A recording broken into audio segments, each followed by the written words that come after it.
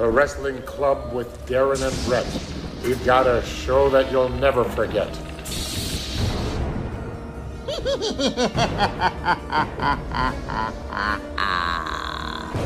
Hello, creeps. Hello, boils and ghouls. It's your old pal, John Kassir, the voice of the Crypt Keeper. and I'm here to welcome you to WFMU's Brawloween Special.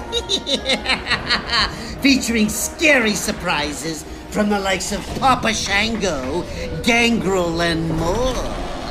That's right, kiddies. We'll be giving away awards to the scariest wrestlers.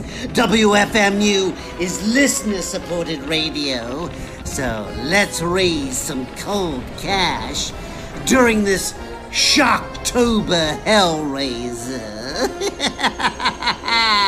and now here's your hosts, Brett Davis and Darren Mabee.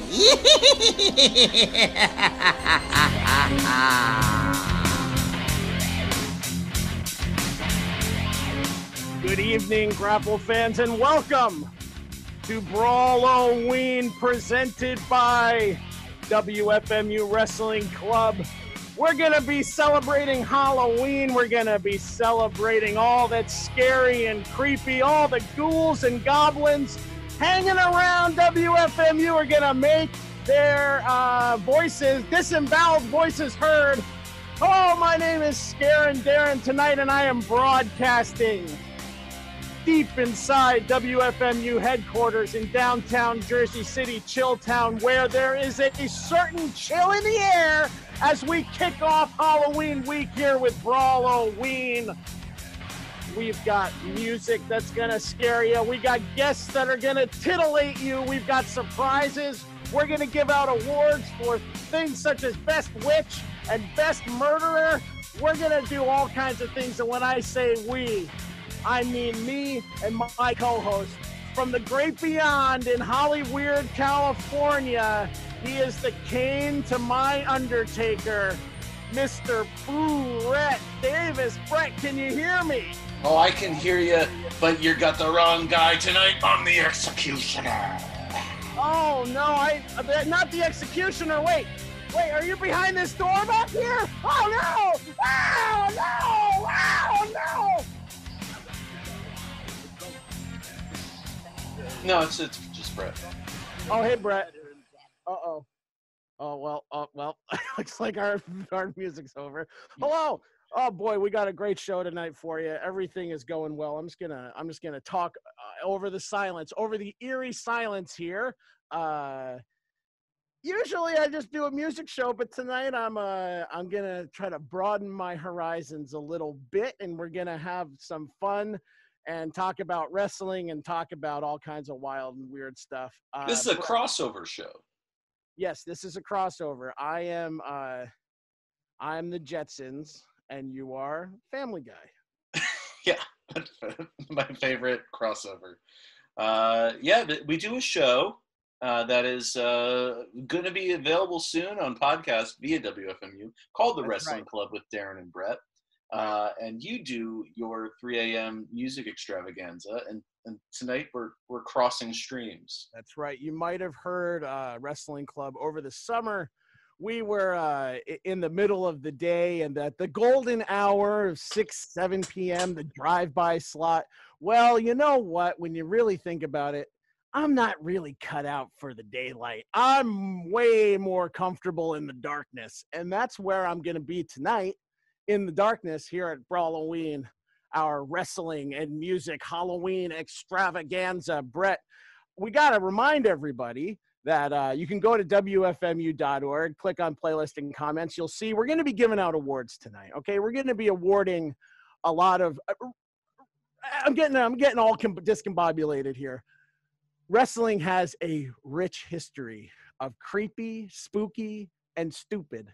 And tonight we are going to be presenting awards to the most outstanding of these kinds of wrestlers and characters and moments and yada yada yada. What do you think? Should we uh should we introduce should we just get right into it? Introduce the first award and then we'll come back. Also, we're not gonna just be talking tonight. We're gonna be playing music too. This is not gonna be we, we already heard Vicious Pink's cover of Spooky. Love that one. We started off with Out Come the Freaks by Was Not Was. Great name for a band, I think. Uh so we're gonna be playing music. So if you don't like wrestling, you're gonna hear some music. So don't worry. Brett, let's do let's introduce the first award. Well, uh, robotic voice lady, uh, let's give it up for all the nominees for best witch in wrestling.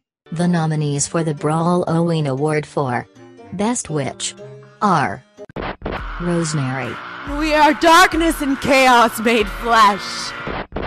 Papa Shango, Everything in my world is bad. Do you like lingerie? Okay, guess not. Roxxi Laveaux, And here comes the voodoo! Sabrina the Teenage Witch in the one episode with badass Billy Gunn. The voodoo wrestlers from Congo that Brett saw in a Viceland doc. Let the chicken on fire! What? Oh, that chicken is still alive! Whatever it isn't my little daughter, Stephanie. Stephanie McMahon that time she dressed like a witch and made out with Eric Bischoff, who was dressed as her dad. Best Witch. You know, uh, we, we've got so, some of these that are different, very varying degrees of witchhood. I don't know if Rosemary is considered necessarily a witch. Sabrina is definitely a witch. Well, Sabrina the Teenage Witch is one of our nominees. She is absolutely a witch. But the only time she wrestled was in what? what she did she even wrestle? I never I never watched Sabrina the Teenage Witch. I was busy being an adult at a young age. Yeah, so you tell me. You tell me. Did Sabrina get in the ring? Sabrina did get in the ring with Okay, who who did she who did she wrestle? with B.A. Billy Gunn. B A. Oh, that's uh we can say it. We're uh we're, we're overnight. We can say the Or bad badass Billy Gunn, aka Mr. Ass. Okay, Uh, that's enough. That's our. qu- We can't say any more for 15 minutes, or I'm gonna have to go to an ambient track. Fair. Okay, I don't want that. Um, yes, and uh, we we had a, uh, a run in from Salem the Cat. Uh, but again, that was you know, she, is she a wrestling witch? She had a match. I don't know. I think we really come down to our you know nitty gritty witches like Roxxi Laveaux. Uh, she was uh, in TNA wrestling. Didn't do a whole lot. Uh, and then we got Papa Shango, who did quite a bit, feuded with the Ultimate Warrior, ran in in the main event, attacked Hulk Hogan at WrestleMania, uh, and then later on found a successful career as a kickboxer, and then later as a uh, uh, uh, militant, and then later as a uh, pimp, and then All right. later as a censoring man. It's definitely Ah, not that's Stephanie right. McMahon.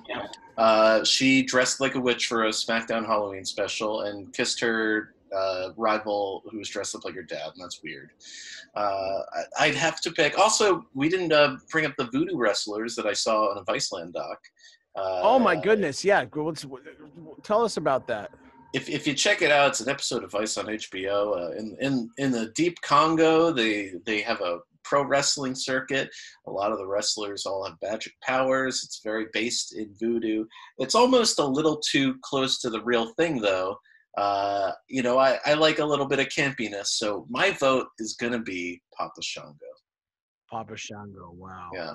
Um, boy, best wrestling witch. Honestly, I got to go with Papa Shango as well. That was a character that was in the uh, the first live wrestling show I ever saw was a WWF house show. Their return to the Brendan Byrne Arena in the Meadowlands, which became the Continental Airlines Arena, and I don't remember what else, but uh, the main event was Ultimate Warrior versus Papa Shango, and I was terrified because er, uh, literally that day, or maybe a few days before, was the famous angle where Papa Shango put a curse on Ultimate Warrior and black ooze, grayish black ooze started uh, flowing from his face Is that is that am I remembering that right, Brett? I have this image of the Ultimate Warrior, big painted up Ultimate Warrior with just goo coming off of him. Yeah, I mean, Papa Shango, he'd make, uh, he'd paralyze arms, he'd make wrestlers vomit, uh, he would, he would do, do all sorts of magic tricks. Uh, and, you know, he wasn't using a foreign objects, so he technically wasn't breaking the rules. Uh, so it, it's a, it's, it's, it's, I think it, we both are in agreement. Let's see if the powers that be decided uh, if, if uh, that's the right answer. Now, Brett, I have to ask you, we didn't discuss this. Is uh do we announce the winner or does the robot voice lady? We announce the winner. I, I have right, I have it right. right here. Oh, you have it right there. Okay. Yeah. All right. Let's uh open that scroll. Okay. All right. So I haven't looked win- at this. Okay. So the winner. This isn't winner my friend's book. The winner Okay. is the winner is wait, hold on. I want to announce it. I have I have the book though. Yeah, but I'm gonna say and the winner of All Best right. Witch at Brawloween is Papa Shango. Here to accept his award Wow!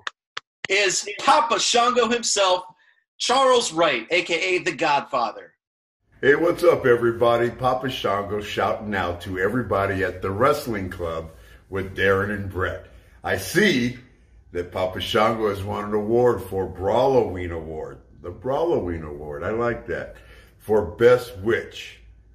I like to say witch doctor, but I'll go with witch. I see I beat out a lot of talented voodoo priests and witches and doctors, even one from the Congo that Brett saw in Viceland documentary. So uh, I graciously accept the award uh, to all the voodoo doctors and practitioners out there. Keep it voodooy. And uh, like I said, you guys, I'd love to come out on your show one time, or at least be on your show and do my thing. So to everybody at Wrestling Club with Darren and Brett, thank you very much. May the voodoo gods be with you. But most importantly, beware of voodoo. and beware of Papa Shango.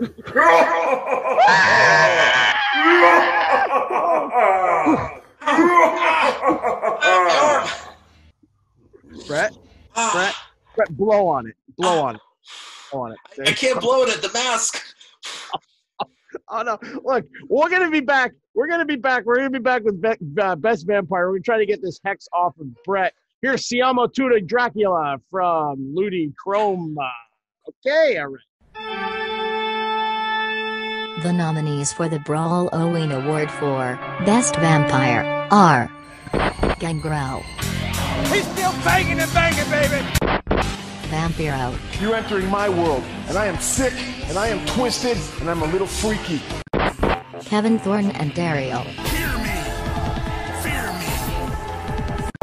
Draculetta, Draculetta, queen of the night. When I suck your blood, you will scream with fright. The Vampire Women from 1962 Santo vs. the Vampire Women, Wow, it's Tony Schiavone. Tony Schiavone, I'll show you something scary. Best Vampire, Uh, Wow. What? I A lot of hate for Tony. So I guess he's not your pick for best vampire. No, he's not my pick for best best vampire. Now, if we had gone with the category best phantom, I would have picked Tony Schiavone, who uh, was a Phantom of the Opera at Halloween Havoc 1990. But we didn't do it, so we're doing best vampire. Going through those, I gotta say, my pick is Draculetta. See, she's got a flow. Here's the problem with Draculetta is the Draculetta that's nominated is the one that appears in the promo video for Wrestlicious, which was a Jimmy Hart backed uh, project uh, by a Jimmy Hart, teenager. from, Jimmy Hart from the Gentrys. Yes, that's right. A Oh, teenager won the lottery and said, I want to have my own wrestling company. He teamed up with Jimmy Hart and they created a glow sort of thing. However, it was uh, in modern times and not the 80s. So the campiness wasn't a great selling point.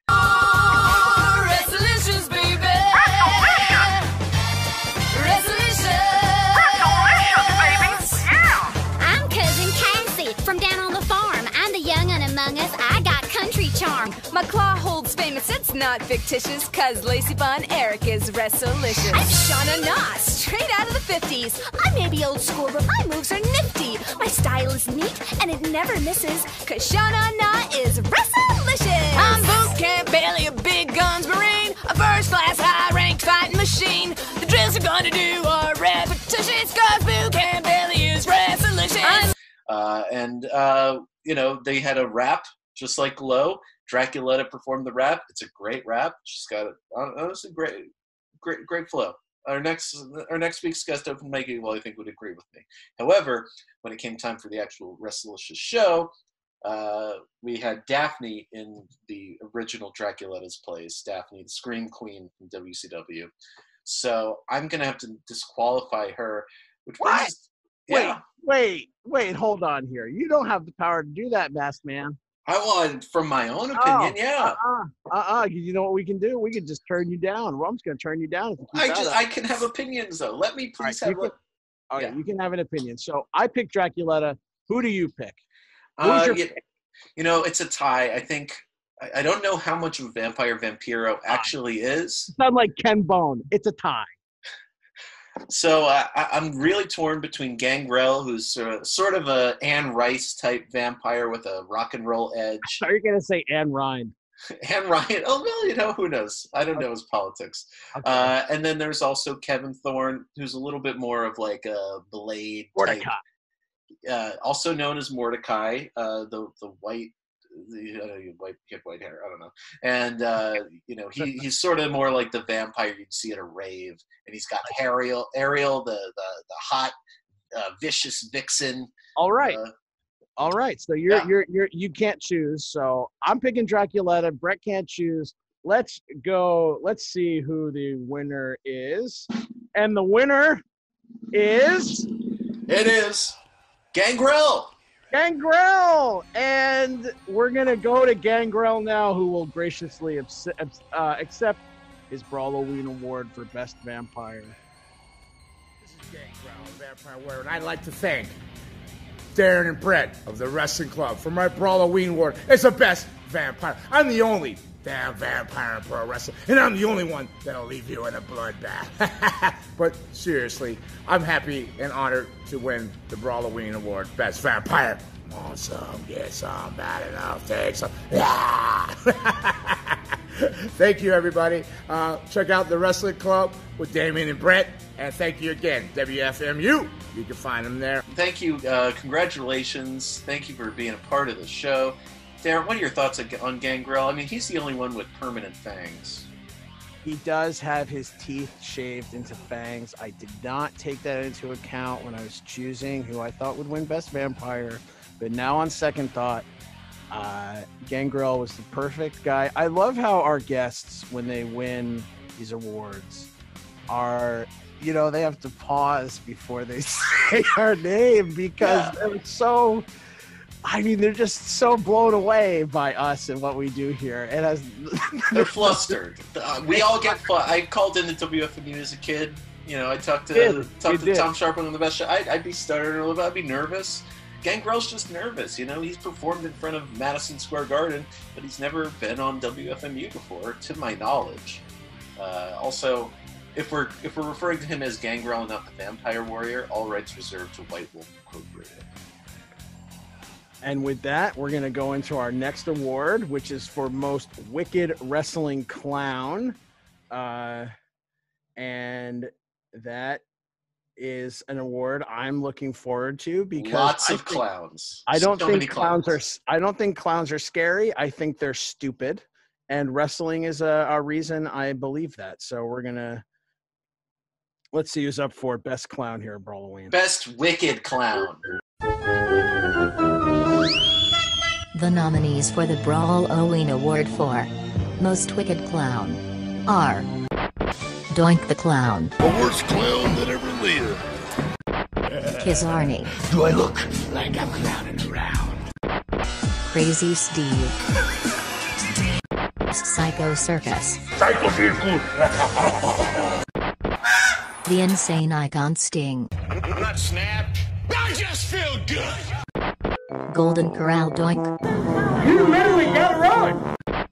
The Insane Clown Posse. Where you going, BC Boy? What's the matter, son? Just 'cause we a little different, you gotta run.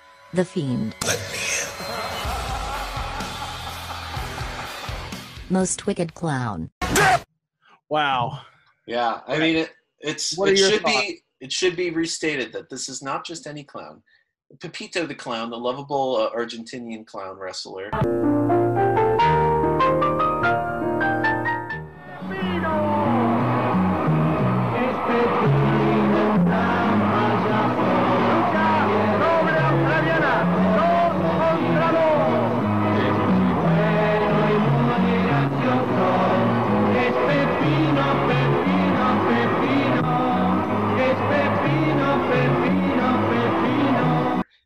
Is not is not applicable for this award because we are looking for the the truly twisted, the the, the dark jesters of the world, the uh, from from the deranged psycho circuses. Uh, this is such stiff competition. Well, I gotta say, first of all, at the bottom of the list has got to be Golden Corral Doink. You heard it right. The uh, robot woman uh, announced his name. Robot Doink. I'm sorry.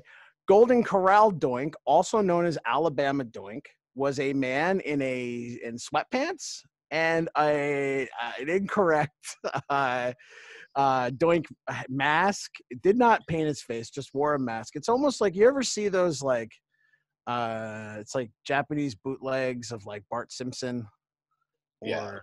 It's like that. It's not really right he's large but his most famous match he's very overweight. Again as a as a body positive man i will say large large fella.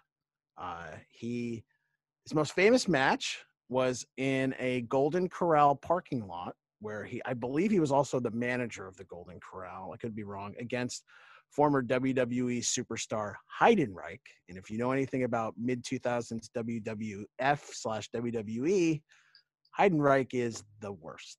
So It's insane he's not nominated for any of these awards. Mm. Yeah, I mean, we, we should st- stress Doink was a popular character in the WWF uh, early 90s, spawned a, great lot of character. spin offs. A great most, character. Most people would get it right. You know, it's like Doink is this mischie- mischievous clown. Uh, he'd, you know, go to shake a hand and he'd pull out a fake hand. He'd, he'd do all sorts of clown magic tricks, so, you know, sleight of hand, etc. Uh, Golden Corral Doink does none of that. He just screams at the uh, the people in lawn chairs outside of the Golden Corral in Alabama. Yeah. For the five minute, and then he's out of breath from screaming. Yeah, cursing at children. Uh, he, uh, I love the original Doink. I'm going to be honest. That's going to be my pick. Uh, the original Doink, Matt Bourne in 1993 was, I think, next to The Undertaker, the best original WWF character. I think he's better than Goldust. I think he's better than Stone Cold Steve Austin. I think the original Doink, if Matt Bourne wasn't a basket case, in the Attitude Era, we would have had a, like a real Juggalo wrestling clown. Like I think Doink could have went to the dark side. I think he could. Oh, hold on. I You have don't to think- stop you there. You're saying in the Attitude Era we could have had a Juggalo clown. In the Attitude Era, we had the insane clown posse, the Yeah, yeah, progenitors yeah. of Juggalos. Okay, look, look. I know. Look, look. Okay, Insane Clown Posse's biggest contribution to wrestling is they were the first.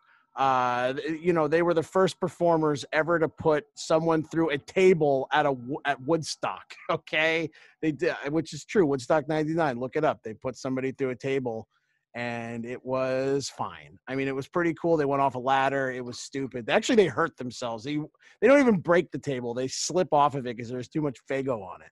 Yeah, So I'll IC- give you that. ICP. They were lifelong wrestling fans. They grew in popularity in the you know late '90s, along with all sorts of uh, Yeah, oddball Marilyn Manson sort of acts, and they They parlayed that.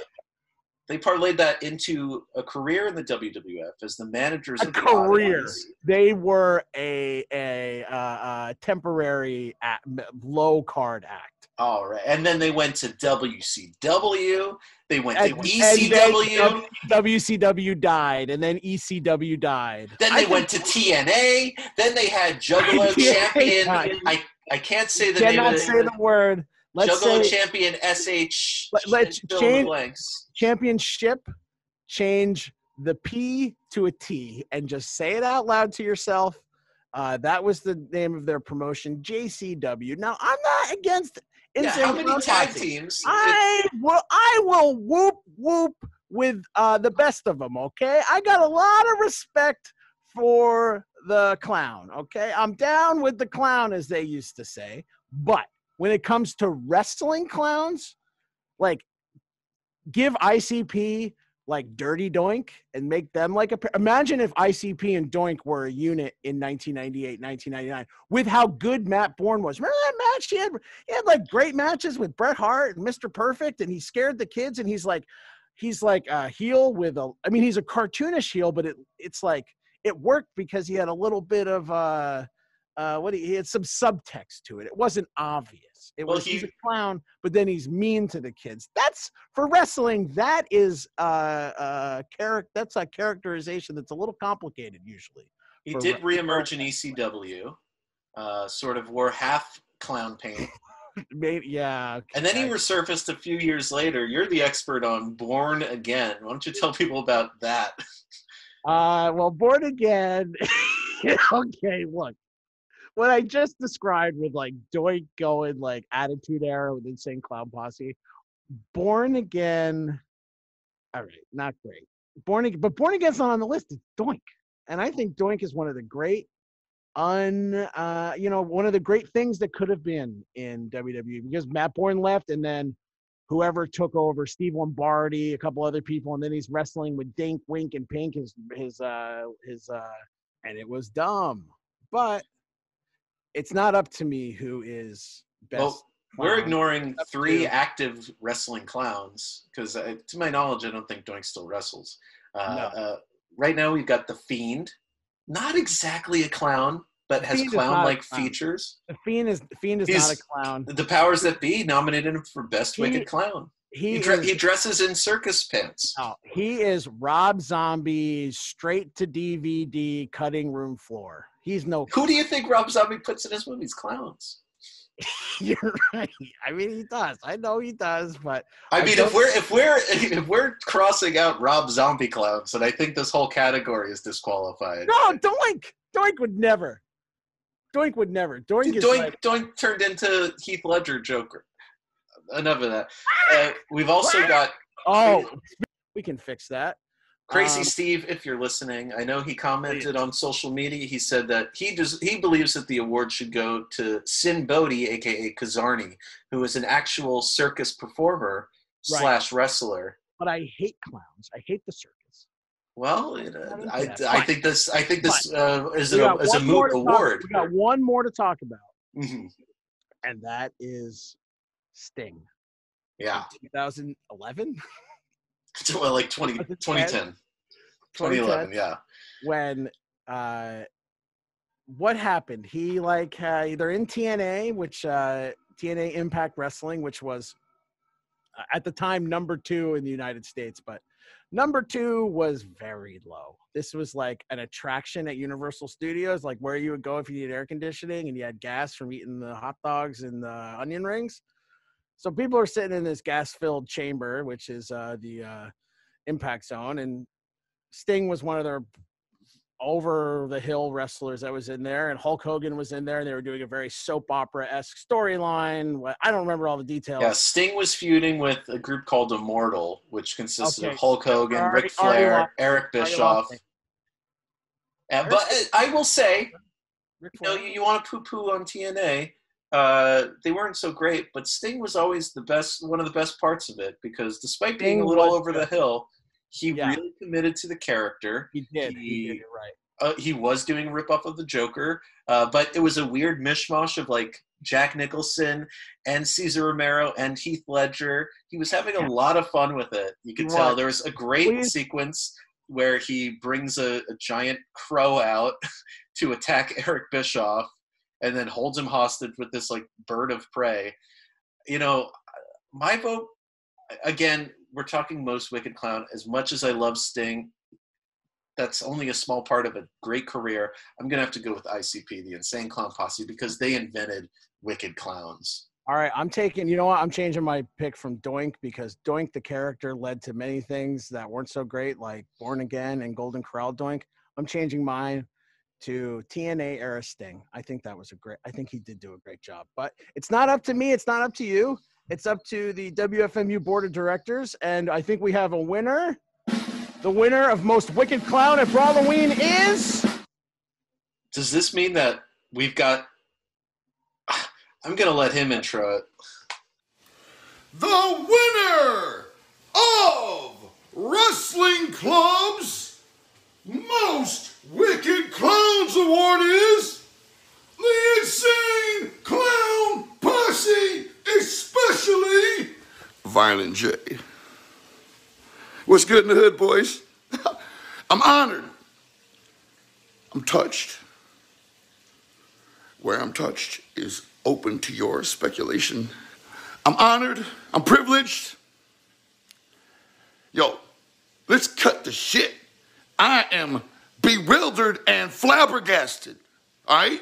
Because we won yet another award in the world of professional wrestling, dwarfing our accomplishments in music and with wrestling. We almost didn't even try. Beating ass has been with me my entire life. It's like scratching my balls. To do it so well that you receive awards by outrageously respected, viewed, listened to, and obsessed with shows like Wrestling Club, right? I can't begin to tell you to have men like Brett and Darren even even perform symphony with their mouth by saying your name. That's what it is to me. Harmonic pleasure to hear my name coming out of their faces. It's an honor. It's a damn. I don't want to. I don't want to cry. I don't want to fuck my pain up. But um, I'm touched and I'm honored to be most wickedest clowns along with Shaggy Two Dope. We both are.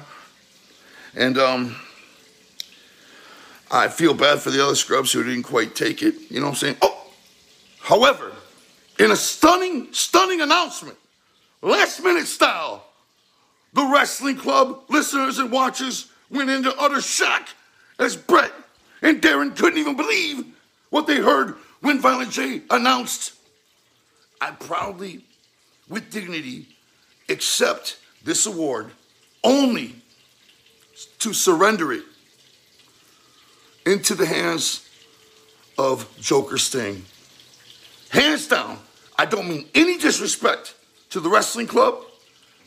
I don't mean any disrespect at all. Joker Sting was a performance, it was a symphony to retinas everywhere. It was unbelievable to recreate yourself. The, the, the amount of talent it takes to recreate yourself. I, I know I'm taking up time. Fuck you, dude. I'm winning my award. Don't ruin my moment. Fuck you, dude.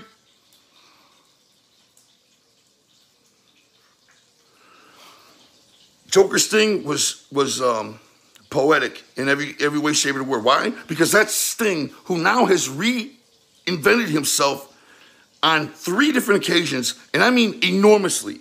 You went from Surfboard Sting to Crow Sting, and then to pull off Joker Sting and pull it off so well. My fucking hat comes off to Steve Borden. Steve, you schooled that, and I'm calling him Steve like I know him. I, I met him one time. No, probably twice, but I don't think he liked us.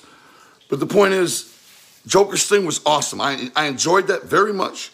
You know, I didn't always enjoy TNA, but Joker Sting was done with passion, heart. I mean, way more energy and charisma than a lot of these young guys who are supposed to be in their moment. You know what I'm saying? Sting was doing a better, um, Sting, my hands down. So, with all big the controversy, we present our award right back into the hands of Sting, though. So, thanks, guys. Darren, Brett, I'd like to thank the show. It's an honor to be thought of, but we're going to have to forward the award to the hands of Joker Sting. It's an honor to receive the award, though. Don't get it twisted, all right? Or get your necks twisted into a pretzel because we meant, it meant a lot to us, but so did Joker Sting. And we're going to pass it on to him. I hope you guys understand. Thank you. T shirts up front. Well, ICP Damn. here on Wrestling Whoop, Club for the whoop. first time on Whoop Whoop. For the first time on WFMU, here is Insane Clown Posse with the theme for the oddities. It's WFMU Wrestling Club with Darren and Brett. I'm Darren. That's Brett. We're uh, handing out the Brawl Brawl Oween Awards to.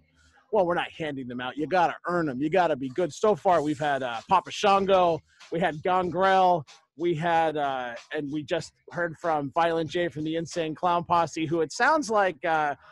Uh, did they legalize drugs in uh, Indiana or wherever he lives? Because it You know, sounds like coronavirus. uh, you know, he's feeling a little faded, but you know, he's staying inside. and getting, ain't hurting nobody. So, my MM, uh, much mother flipping clown love. Whoop whoop, juggalos. All right, that's really nice. Good job.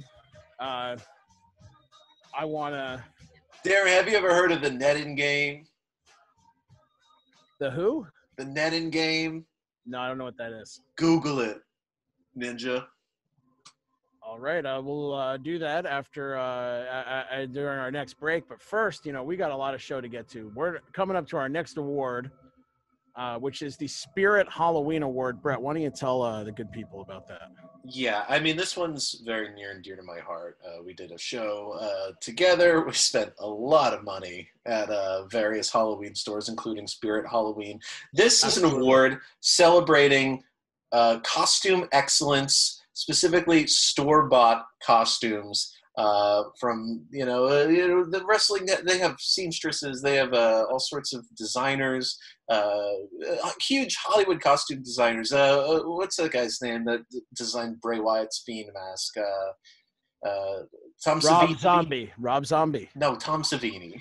Tom Savini. like uh, Bray Wyatt wouldn't be as great of a character if he was just wearing a mask that he got at Spirit Halloween. But we celebrate the people that did go out to a Halloween store and buy a mask, or buy a costume, or maybe a suit of armor. So here are the nominees for the Spirit Halloween Award. The nominees for the Brawl Oween inaugural Spirit Halloween Award are The Boogeyman, I'm the boogeyman, The Shockmaster, Our partner is going to shock the world because he is the Shock Master! Nightmare Freddy,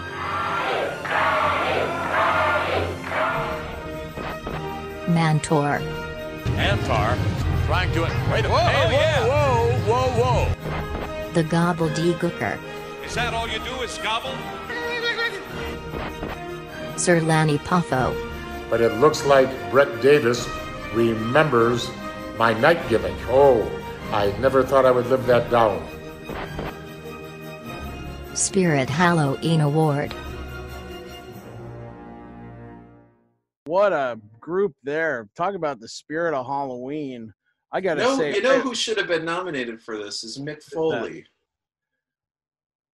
You know, that's talk about a guy who has really made a career work with dumb looking co- dude love that he you know he just put on sort Right. of shades he'd get at a Halloween Right, store. Absolutely. I mean, honestly, he, I could make any costume he wore for thirty less than, less than ten dollars. Yeah. I mean, if it's, look, the day, if it's the day after Halloween, I'm going to. If it's November second, and I'm at uh, the Spirit Halloween uh, clear out sale. I can make any Mick Foley costume for less than ten dollars. I guarantee it. And I understand he's a cheap guy. I love Mick Foley. And you think about like WFMU, who is a better like wrestling personality for WFMU than Mick Foley? I know he's a, I know the garbage man Matt Warwick is a huge fan. I know Michelle with one L is a huge fan. Uh, so maybe if this was the WFMU Spirit Award, I could see Mick Foley making a case for Mick Foley because he's brought so much joy to the people around here. But Spirit Halloween Award, you know, I just think I should I should know Mick Foley is not even nominated. Mankind is not a scary enough character to win any of these. no awards. mankind. I mean, mankind was scary when he started. No, he wasn't. Not scary. Not scary. No, no, no. I was a shy. I was more scared of Steve Austin than Mankind with those goofy boiler room Yeah, promos. because you're because you are scared of men. You're scared of real men. Yeah. mankind. You're not scared of mankind. I understand. he's weak. He's he's But- he's, but he's hold already on, hold on, hold on, hold on, hold on. down. I will mute you. Hold on. Now, maybe he was scary in 1996. Maybe he wasn't. But by 1999, when he's got a sock puppet on the end of his hand and he's just this dork, it's like no, not scary at all. I understand that. Cactus Jack, scary, but not in Halloween. I mean, this is just like a guy who like woke up in a parking lot and then jumped through plates of glass and set himself on fire. Like cool, but not scary. Like scary in a way where I feel bad for you, not scary in like a titillated way. And then Yeah, there's Dude Love who's pathetic. So I, yeah, I definitely understand why Mick Foley was not nominated. He's not a Halloween wrestler, but the Spirit of Halloween Award is one where I mean, if he was going to get nominated for anyone, it would be this one. And yeah. I mean, not. These are not have a- scary. Uh, no, I mean the uh, the boogeyman is gross. The gobbly worms. The, the gob the gobbledygooker is pure joy. It's a man in a turkey suit.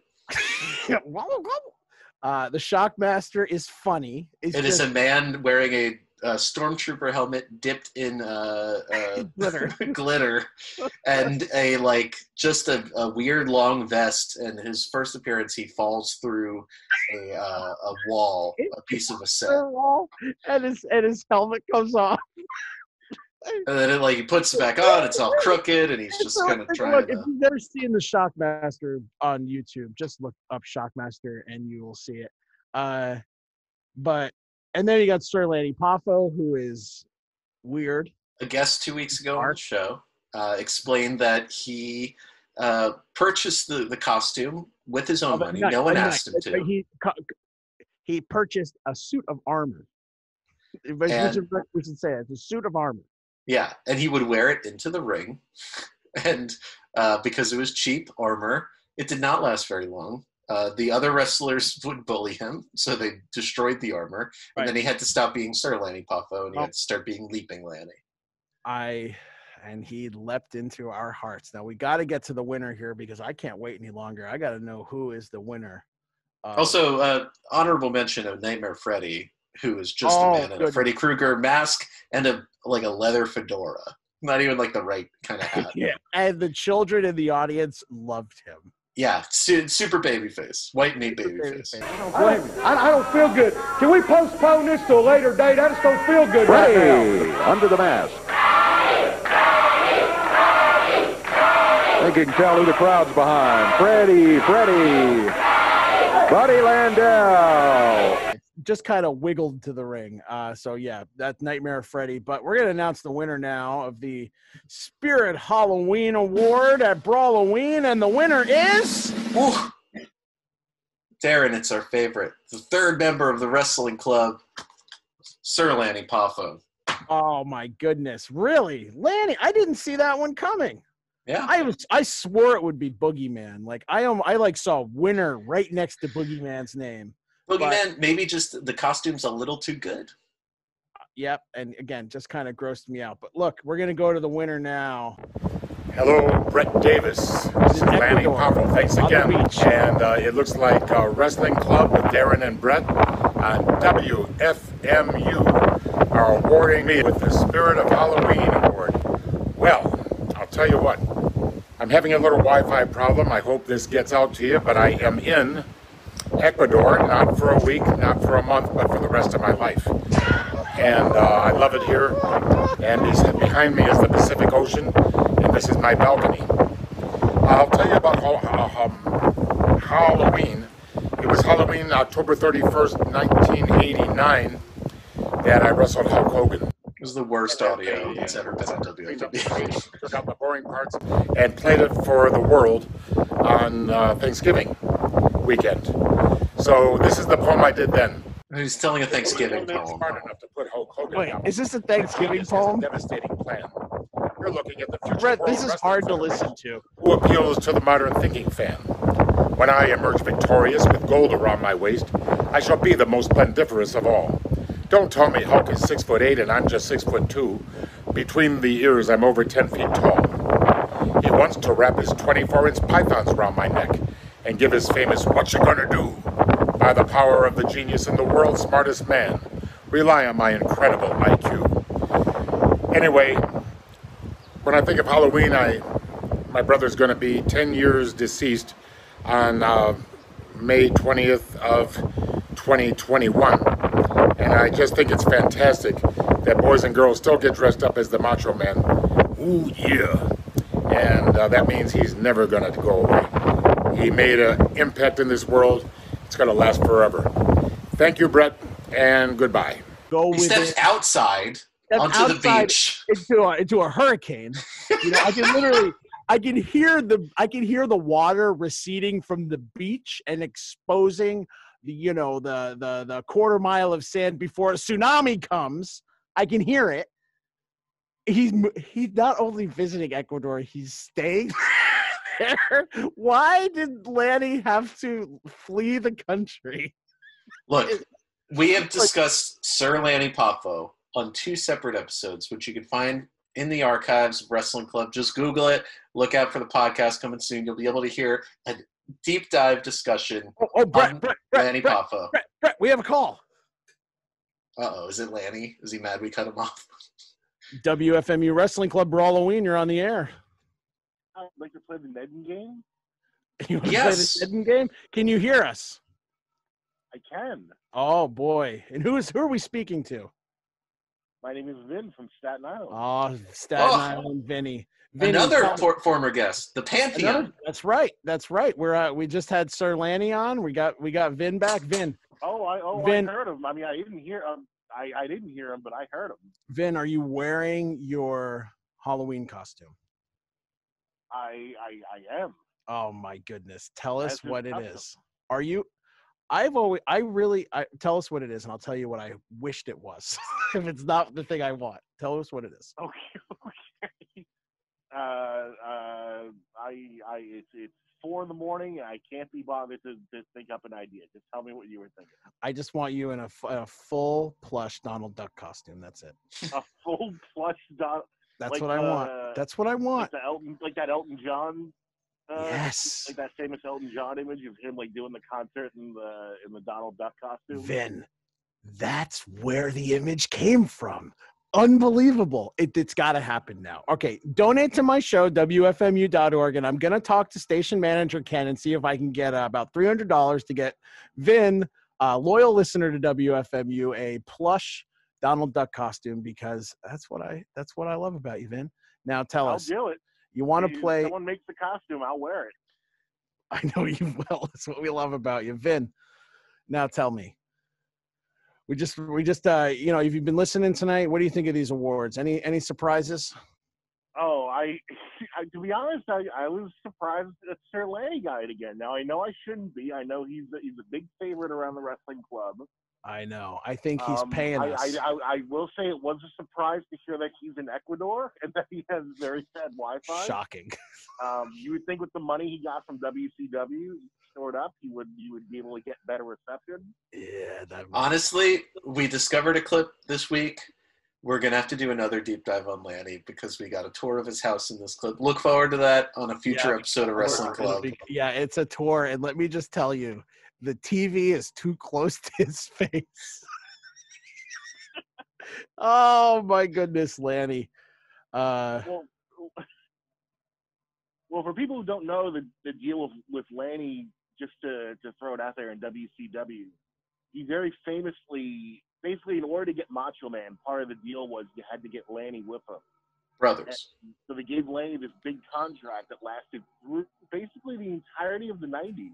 Yeah, he just like, didn't a whole, wrestle. like almost ten year contract, Uh-huh. and he just never ended up wrestling. You never called him for No. not even like a Saturday night spot, nothing. Nothing. And he, I wish. I mean, I like Lan. I thought Lanny was like a good wrestler. I did. Yeah, I absolutely. I mean, you know, look up Hulk Hogan versus the Genius. It's probably my favorite Hulk Hogan match, to be brutally honest. I really love it. Happened on uh, October 31st, Halloween Day, but aired on Thanksgiving.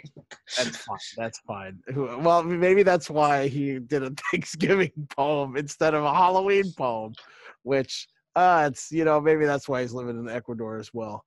But Vin, uh, You know, Vin, we got another award coming up. I don't know if I called up because I, I was interested in. I was hoping to get in on uh, on guessing one of these uh, topics. I don't know if you were about to roll out the next one. oh, do you want to guess a? You want to get play the guessing game? All right. Well, it looks like we're playing the guessing game. Yeah. So this this next award, it it goes out, and it's a very specific kind of award. It's for best Frankenstein. Frankenstein. Here are the nominees for the Brawl Oween Award for Best Frankenstein. PCO. Dr. Frank. would you mind taking it? El Monstro. Frankenstein. El Hijo de Frankenstein. Muchas gracias. Muchas gracias. Muchas gracias. Herman Munster. Hulk Hogan. Best Frankenstein. A PCO is the French Canadian Frankenstein. He wrestled in the early 90s uh, as one half of the Quebecers. Uh, Quebec. A Mountie, basically, basically a Mountie. Yeah, and Then then, he was a pirate. He was a pirate, and then he kind of went away. He wrestled in Canada, maybe retired for a little bit, and then all of a sudden, like a phoenix from the ashes, the career of Pierre Carl Ouellet uh, rose, and he donned a new gimmick as PCO, a Frankenstein monster with this weird guy, Di Destro, uh, who I have no idea who that guy is. He's just his weird friend. You're not human. Non, non, non, le mort-fils. Voyons, PCO, là, fais pas ça. Non, non, don't non. go! Grenade! You're not human! No, you're not human! Come on! Come on! He's not human! He's number one! Nobody's gonna be Pour le suivre sur Twitter, PCO is not human. Manquez pas tous les lundis soirs, Monday Night PCO. and he he would electrocute him. He would uh, hammer nails into his head, and he reinvented PCO, who would go on to win the Ring of Honor championship. Yeah, he does- he does moonsaults now. Like that's like the moonsault is like his signature thing in his fifties now. He always did moonsaults. He did moonsaults in the '90s. I'm, I'm sure he's. I'm sure Yeah, but he's in his fifties You now. He's in his 50s, yeah. He's- pre PCO. Now you Right. think of like, wow, look how athletic he is. Right. As this Frankenstein monster. Which Frankenstein monster is not known for being athletic. That's definitely what you think in his I mean, he is an evolution of Frankenstein, and I see why you picked him. But for me, it's my favorite. Like, how can I vote against my favorite Frankenstein, Herman Munster, who ha- literally has a match with Judo Gene LeBell, who is a who is a famous MMA trainer slash wrestler. He's a legend in Japan. Herman Munster wrestles him in an episode of the Munsters. And the reason he's wrestling, it's a good reason. He's trying to wrestle to make enough money to send Eddie to college because he didn't get to go to college.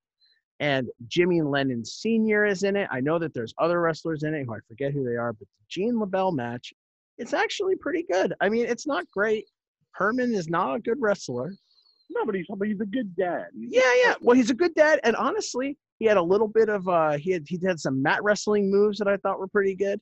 I'm going with Herman Munster. Here, here's my one thing with that. He wrestled Herman as Munster. the masked Wait, hold on, one at a time, one at a time. Vin, go. Now, is Herman Munster still around to accept the award if he does in fact win?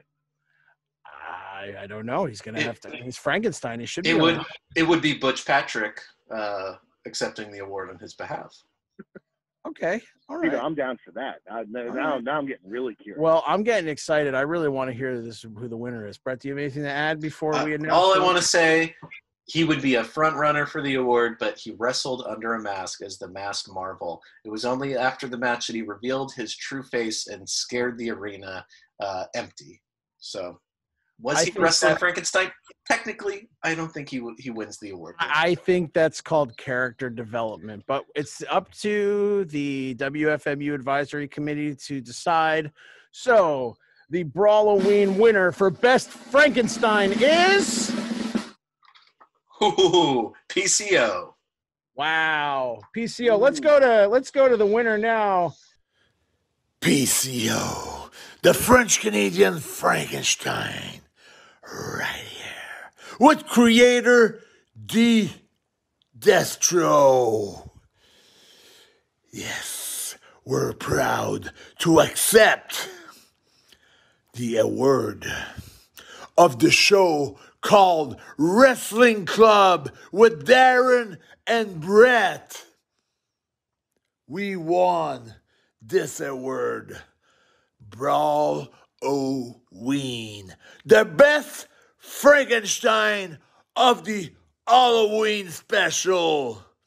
Beating along the way guys like Eddie Marlin, El Hijo de Cien Sara, and Herman Monster. And we do accept proudly this award. And for the ones who didn't vote for PCO as the greatest Frankenstein of Halloween 2020, you will rest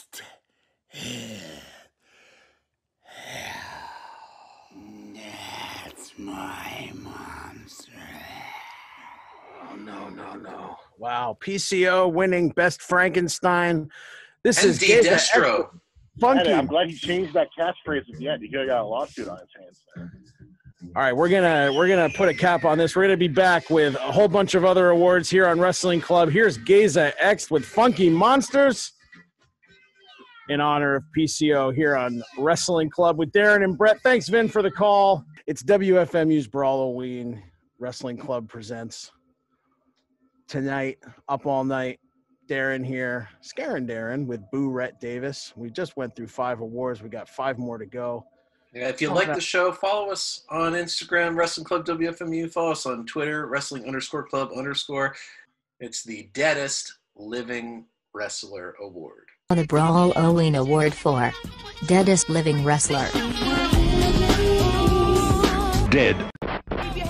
The Undertaker. Darby Allin. Mil Muertes. Su Yung. Abaddon. The zombie from that one ECW. Deadest Living Wrestler. Wow, you know, like that was a great package. Yeah. Uh, shout out to Living Single. Great, underrated. Uh, The before Friends, there was Living Single. Uh, but yeah, deadest living wrestler. I mean, there's a huge nominee here with the Undertaker. Absolutely. I mean, the it's, dead man. It is the win. But, you know, now two years ago, I would say definitely it's The Undertaker. But now that he's like become Mark Calaway, uh, go, you know, going on Instagram and eating ice cream with his wife and playing video games, something tells me he's not so, he's dead in a different way now. Yeah, Blue Lives Matter, Austin, Texas dad. Sweet. So I, I don't know. Undertaker, huge career. Uh, the fact that he had a career as successful as the one that he had, and was still doing this uh, this thing that maybe other everybody would have scoffed at. Oh, you're going to play a dead guy. He turned this into a long career uh, and paved the way for these other wrestlers, Mil Muertes. The, Sorry. Sorry. I, he's trying to. He's trying to speak. Undertaker was trying to speak over you. I'm so sorry. It's I'm sorry, sir. Dead man, sir. We don't need to hear it. We don't need to hear it. Undertaker is uh, definitely the guy, but you know he ruined it. But I'm looking at Mil, Mil Muertes, obviously inspired by Undertaker, but a little too cartoony.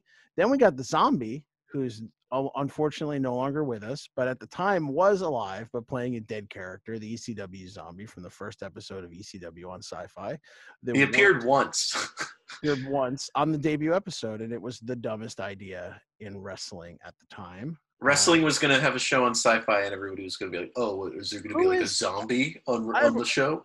And there was a zombie, And there was, and everybody was just everybody was like, "Ah, give it a chance." Give it and a he got beat up by Sandman, and that was like the joke that they were doing the thing that they everybody thought they would do, but they did the thing that everybody thought they would do.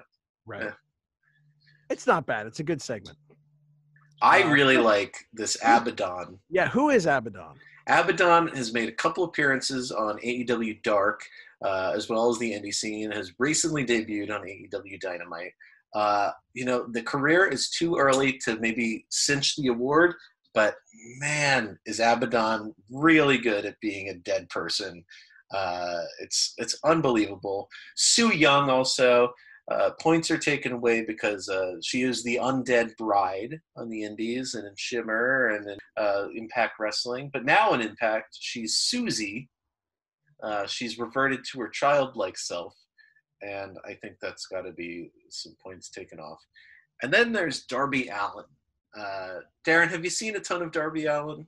Yeah, I've seen him on AEW Dynamite. I've seen him in the Indies. He paints half his face because he almost died in a car accident and a part of him never came back. Oh wow. He's always That's doing right. these death-defying like skateboard stunts. Right. Uh, no one's asking him to do those, and No.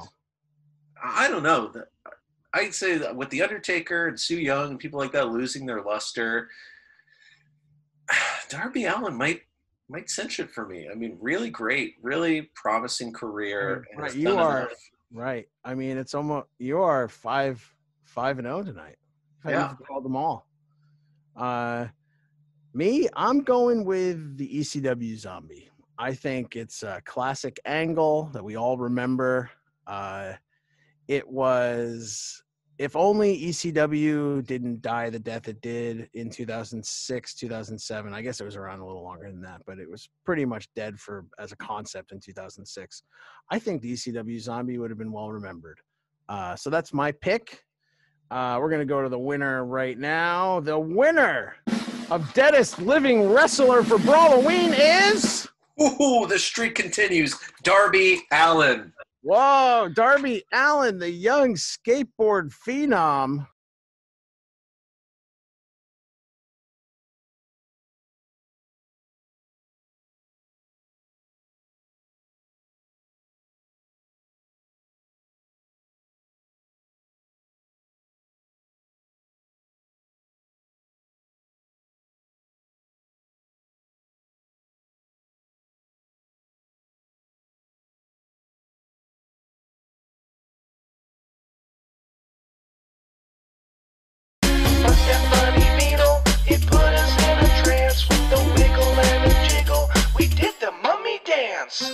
Now, the nominees for the Brawloween Award for Best Mummy are The Yeti, Prince Karras, Daryl Van Horn holding Brent Karras back. The Aztec Mummy, The mummy will have her for supper.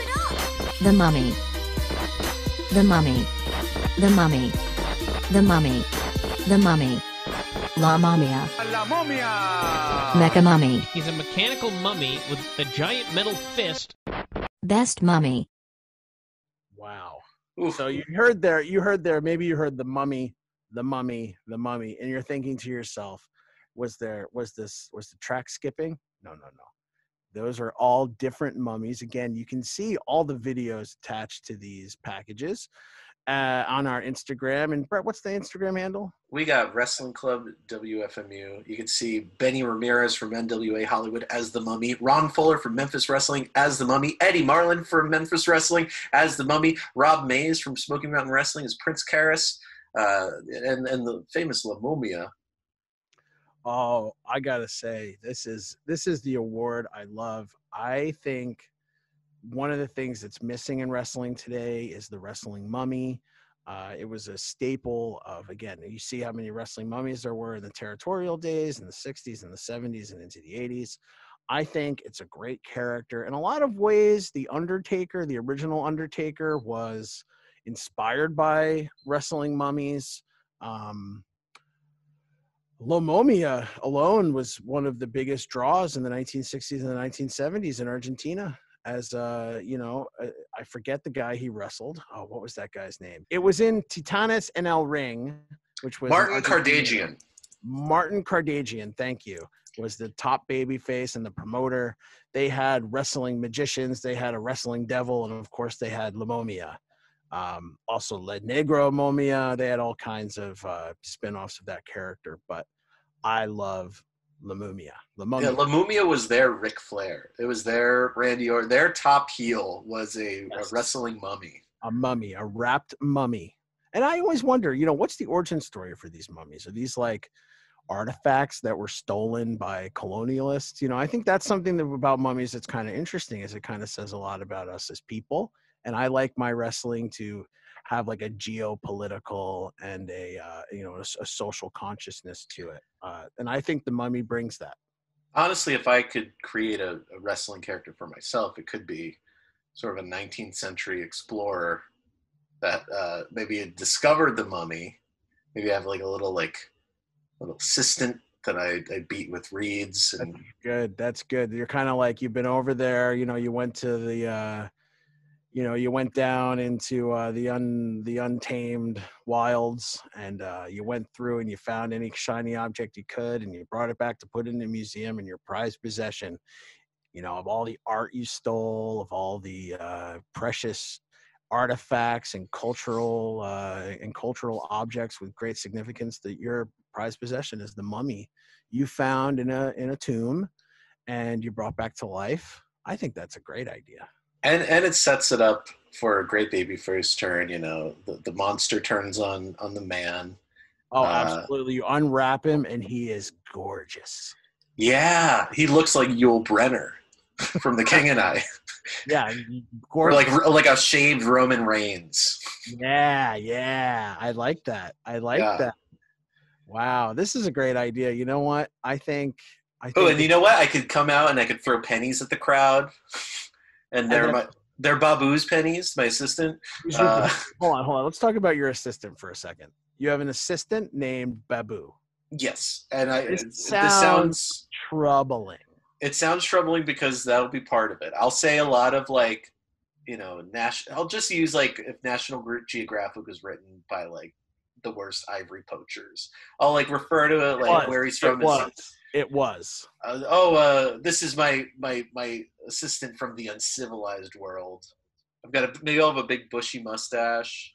all right i think we're getting in trouble here Well, I think it's I think it's money. We're gonna workshop it. We're gonna work on it. This I just wanted to announce this will be my last show in as I'm now I'm a full-time wrestling fan fiction writer, uh, inspired by the Mummy, La Momia, La Mumia, uh, the Mecha Mummy. Tell us about the Mecha Mummy. The Mecha Mummy has uh, a, a detachable fist. Sort of, he's sort of like a kaiju. Uh, he can shoot a, a fist from one hand, then on the other hand, he's got a drill. There's a great match um, where he wrestles a tree uh, in Chikara, and he drills into the tree. Uh, it's it's a really fantastic uh, thing. I, I recommend you check it out. Um, yeah, Mecha Mummy might be my pick, but I La Mumia was just such a big star in Titanes en El Ring, which is a, a fun, very niche uh, wrestling brand that even the most you know deep wrestling nerds might not know about. So I, You know, I, am right. gonna have to go with La Mumia. La Momia. I well, I'm torn between La Momia and Mecha Mummy, but the thing about La Momia is I think he was more than a mummy. You know, he was more than a wrestling mummy, and Mecha Mummy was like, I'm going with you know what, I'm gonna change. I'm going with Mecha Mummy. I think Okay. Not even that I think La Momia shouldn't win. I think La Momia should win, but I think I'm trying to like, you know how I've been wrong all night. I'm trying to like outthink the committee, and I'm like, well, if I'm sure Lamomi is going to win, like they have to win. So this committee is just going to screw it up. So I'm going to go with Mecha Mummy. Uh, we might as well just announce who the winner is. Yeah. The winner of Best Wrestling Mummy goes to. Ooh, the streak continues. La Momia. Wow, La Momia, Best Wrestling Mummy. Ah, you know, I said that was going to happen.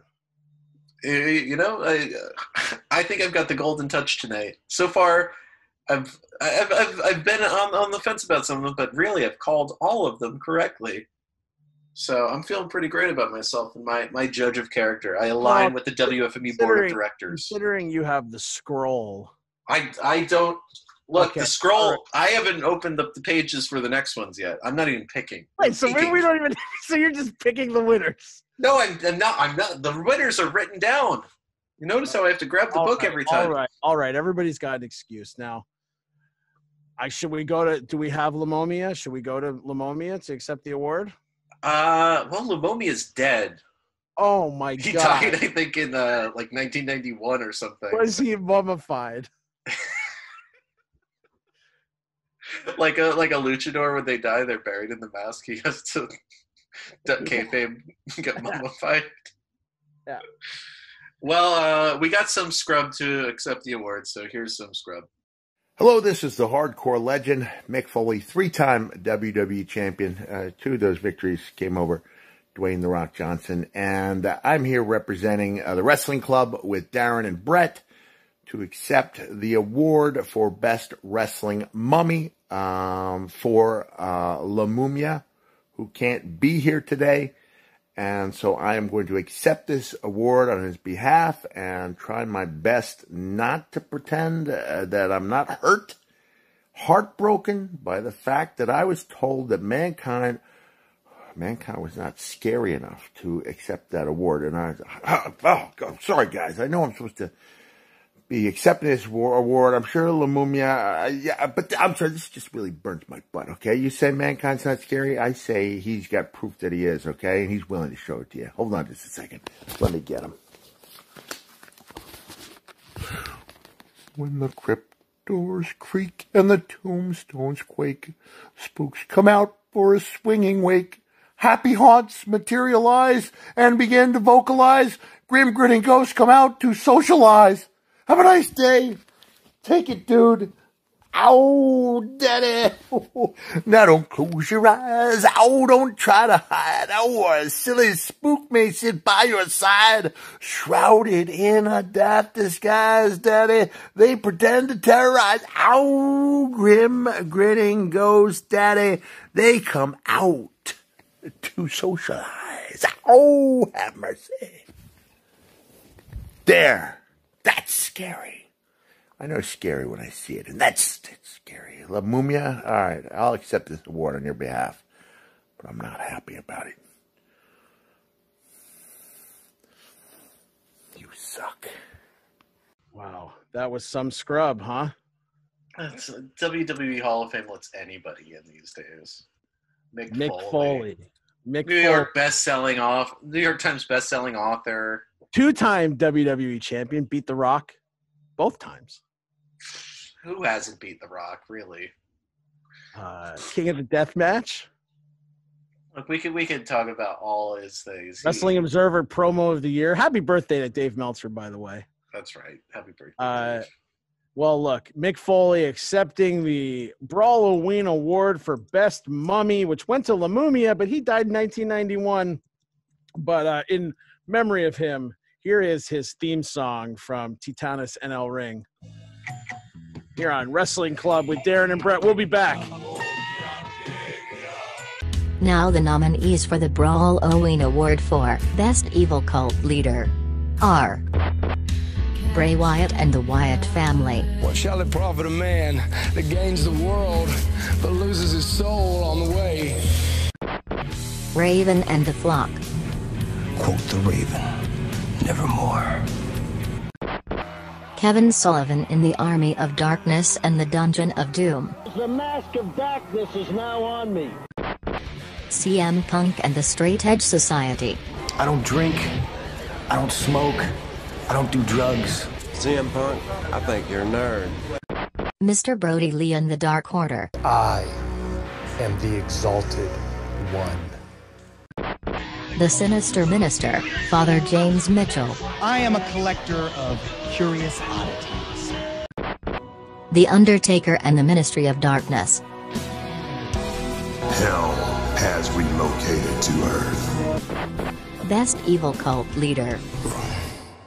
So that's uh, those are our nominees for best evil cult leader. It looks like uh, we got a multiple no- multiple time nominee with the Undertaker and Bray Wyatt. Bray Wyatt's been nominated three times tonight. Didn't it can uh can uh, get over though. Can't get over that hump. CM Punk nominated. Kevin Sullivan. Brett, who are what are your thoughts? Well, I, I kind of want to hear your thoughts because I, I think this is cut and dry for me. But I, I want here. How about on the count of three, we say who we think is going to win this award. All right, all right, we'll say it. One, two, three. Kevin Sullivan. Okay. Kevin Sullivan. Kevin Sullivan. First of all, the ministry was kind of boring. I don't think it was that good. Excuse me. Well, I get you're you're just a few years older, but it's enough years to make a difference that when I saw the ministry for the first time, I was so terrified. No, no, no, no, no, no.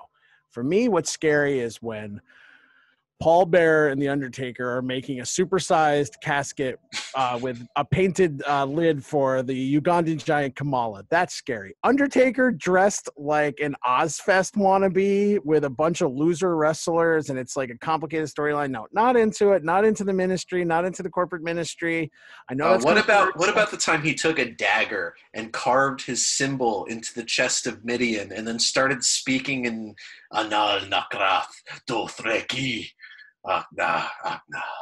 Like I don't know. so I mean, I- cool. I, can, I can go see Rammstein and get the same gimmick. You know, it's not that big a deal. All right, so where, you could go to Fenway Park and get the Kevin Sullivan gimmick. well, no, I'm thinking Kevin Sullivan for a few reasons. First, he had quite possibly the greatest valet in wrestling, the Dark Angel, otherwise known as Nancy Benoit, Nancy Sullivan. I thought she was excellent in her gimmick. I thought he was excellent in his gimmick too. He's a great cult leader. I mean, you can you can say what you want about later period Kevin Sullivan and the Fenway went from like a tall weird guy to like the scariest wrestling promo in history. I mean, it's kind of a shame that Jake the Snake's not nominated for any of these awards, but you know, maybe next year, maybe next year. But anyway, my pick is Kevin Sullivan. Your pick is The Undertaker. I understand where you're coming from, but he was only a cult leader for moments, for a few moments at a time in wrestling where it really wasn't that good. And it's, you know, it, people remember it being so great. But, you know, all those fans are gone and it's for a reason. It's for stupid things like The Undertaker uh, just looking like a fat bass player from the band Slipknot without his his uh, garbage can on his head. But listen, it's not up to us. It's about it's up to the WFMU board of directors. So I think we should just uh, Yeah, I mean, just go to the go to the winner. all respect to the Dark Order, to the Wyatt family, to the Straight Edge Society. They were all great gimmicks, all great in their time. Yeah. I still think, though, and I've called them every single time. I think you're wrong about the Ministry of Darkness. I think it was really cool for its time. So, without further ado, The winner of most evil cult leader is I've called it every time. It's the Father James Mitchell. Wait a sec. Wait, Father James Mitchell was nominated? And no, it says the Undertaker, but it's been clearly like scratched out. Wait a second. And Wait, written with- me the sinister minister. Yeah. The host the host of uh, uh karaoke all around the Cleveland metropolitan area. I don't. It, Father it- James Mitchell from TNA Abyss. He's uh, it's clear someone's taken what looks like a uh, feather-tipped pen and crossed out the Undertaker, and then written James Mitchell in blood. I I don't know what to say about this. Um, Well, we have to have a video from the Undertaker, so he somebody I, I don't know. play play the play the play the video from the So I'm going to tell you right now. I'm looking at my soundboard right here, and this video is glowing. Whatever that means. This is the sinister minister, Father James Mitchell, and I am here to humbly accept the award from the Wrestling Club with Darren and Brett for Best Evil Cult Leader, having beaten out The Undertaker and Bray Wyatt. I can guarantee you this you gentlemen are excellent judges of talent.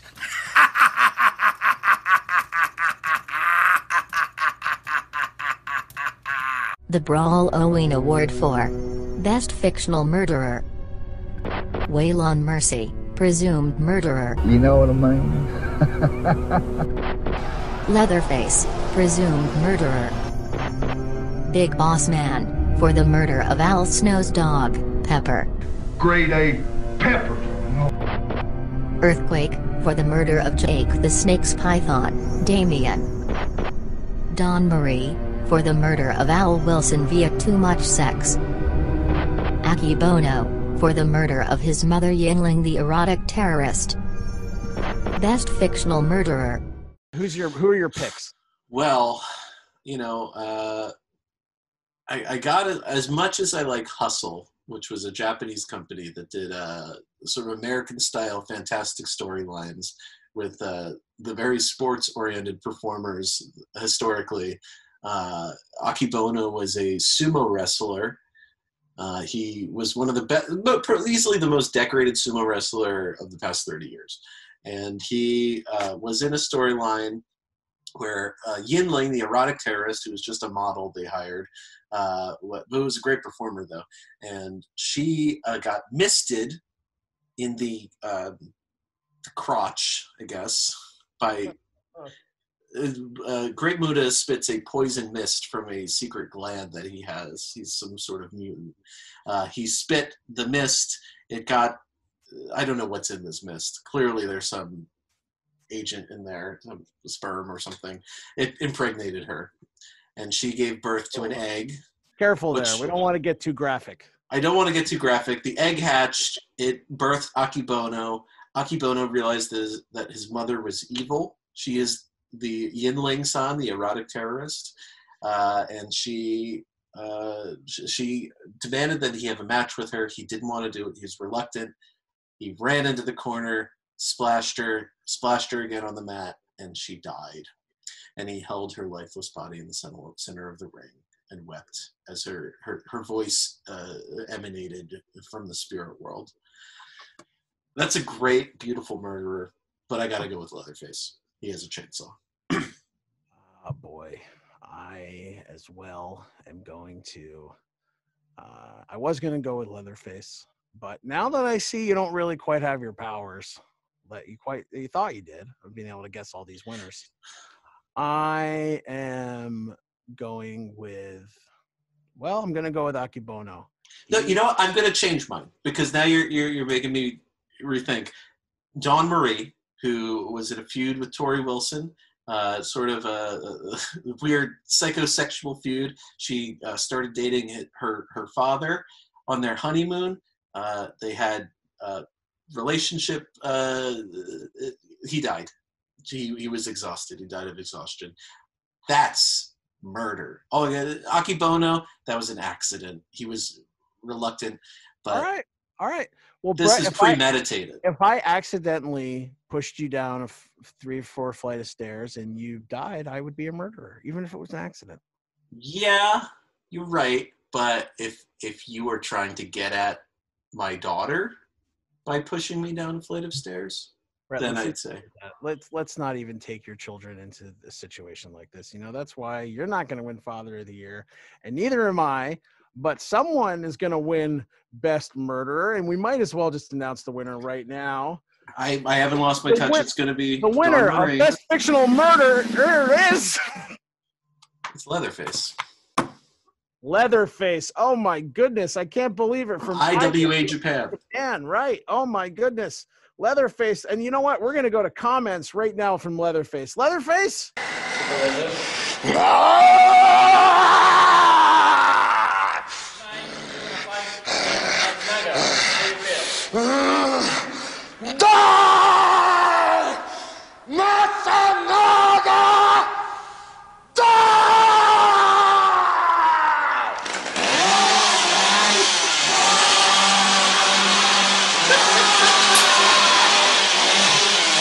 Leatherface here on WFMU. Here's Six Thoughts with Chainsaw. The Brawlowee Not So Much Scary But Dark and Weird Award. The nominees are Brother Nero! Broken Matt Hardy, Prepare the battlefield. Paul Bearer, oh, yeah!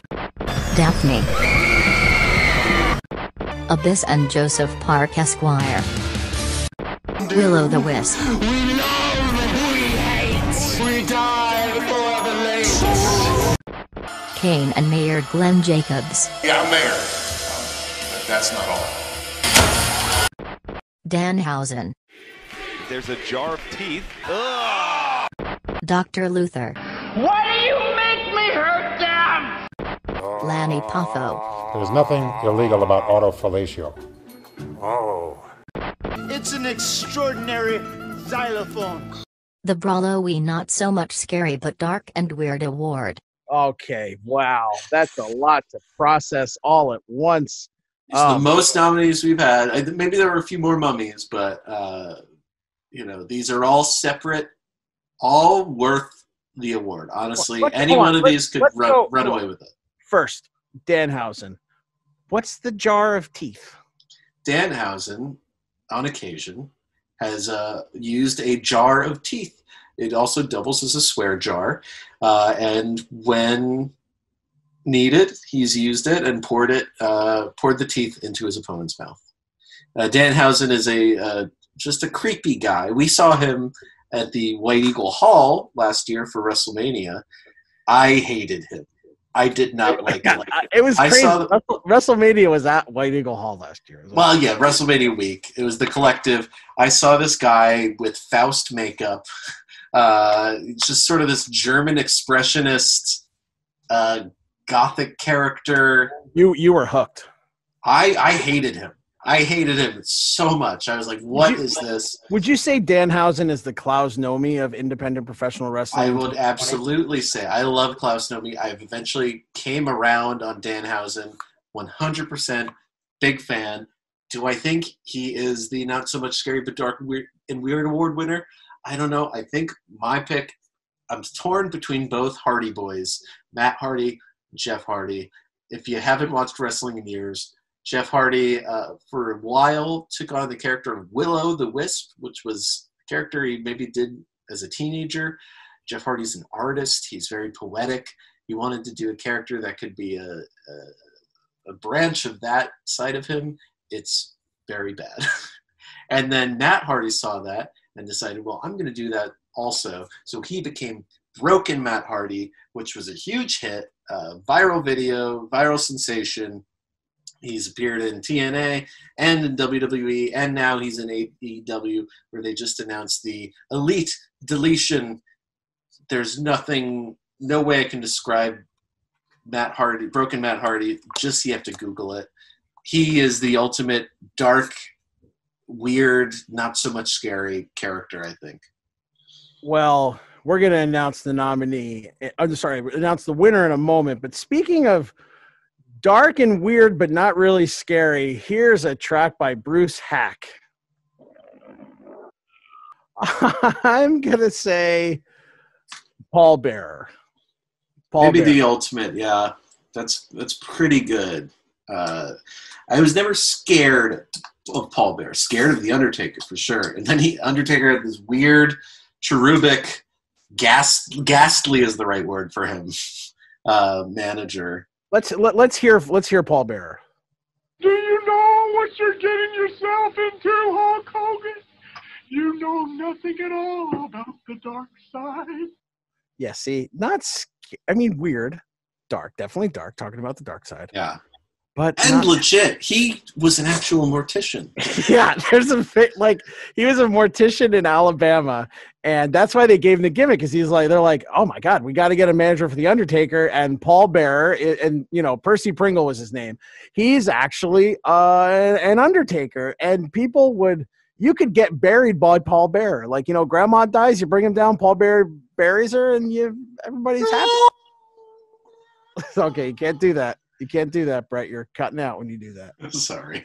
It's all right. I know you're having a lot of fun. Brett, who's your pick? Well, you know, I I'm torn between the Hardy Boys. All respect to Daphne. All respect to Dr. Luther. Uh, but now that I'm looking at the nominees, Mayor Glenn Jacobs is very dark and weird. Sometimes scary as Kane, but really undone by how wholesome Mayor Glenn Jacobs of Knox County, Tennessee is. The wrestling mayor. Uh, I'm gonna have to go with Mayor Glenn Jacobs, aka the Big Red Machine Kane. All right.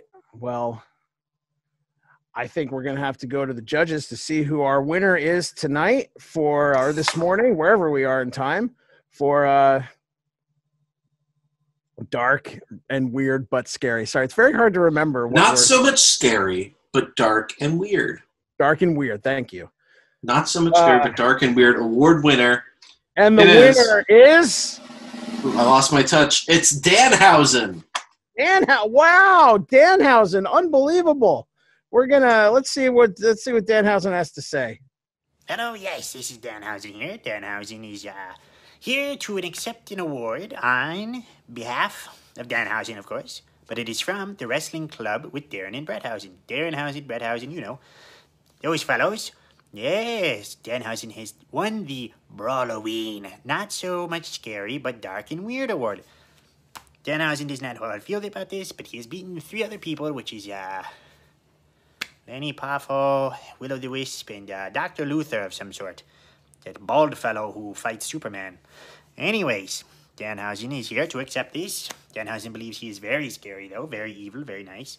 But nevertheless, Danhausen would like to thank Danhausen for winning this award. And yes, thank you to the Fanhausens who have made this possible. Yes. Anyways, if you do not believe in Danhausen winning this award, up yours.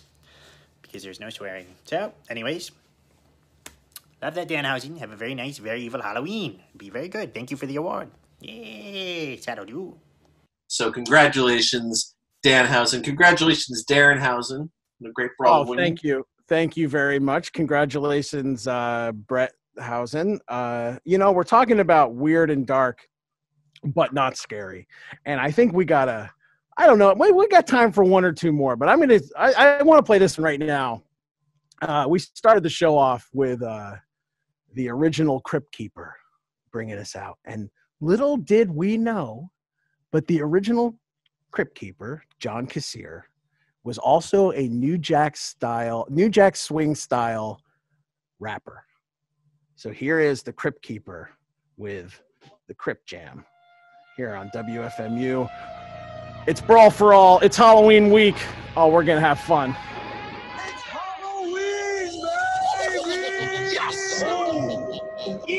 Welcome, kitty. I got to thank everybody who uh, listened tonight. I got to thank you if you're listening in the archive. Uh, I got to remind you, pledge to the October Hellraiser, help keep WFMU on the air, help keep uh, Freeform Radio free. And I think we got time for uh, at least a little bit of one more. Brett, I got some thank yous real quick. I want All to thank Papa Shango, Charles Wright. I want to thank David Heath, aka Gangrel. I want to thank Violent J of the Insane Clown Posse, PCO, and D Destro. I want to thank Darby Allin, Mick Foley, Father James Mitchell, Leatherface, Danhausen. Thank you all for being a part of Brawloween. It's a dream come true to have you all. Hey, thank you guys. Thank everybody. Uh, check out the podcast. It's coming out soon. Hope it should be out next week. We're really hoping it will be. Uh, you can uh, listen to my show every week I'm here, every Saturday into Sunday, dead in the middle of the night, dead in the middle of the weekend, 3 to 6 a.m. I'll have a new show next week, all music next week. We're not going to talk about wrestling. Maybe we will just a tiny little bit. You never know. But uh, I'm going to let it go out here. I'm going to I'm going to go out with a little. Uh, I'm going to go out with a little Fresh Prince and DJ Jazzy Jeff Nightmare on my street here on WFMU.